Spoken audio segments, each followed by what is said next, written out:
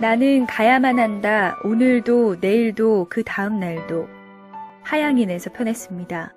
솔메 성지 이용호 바오로 신부가 일기 형식으로 기록한 산티아고 순례기입니다.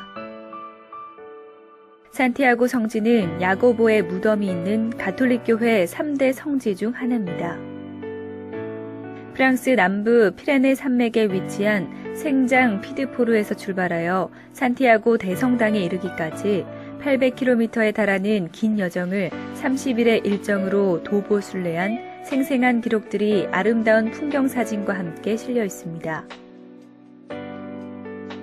자유로이 하느님을 선택하고 남은 여정 하느님을 찾아 나서는 순례자의 길을 가고자 하는 사제의 솔직한 영성 고백과 자아 성찰, 묵상을 발견하게 됩니다.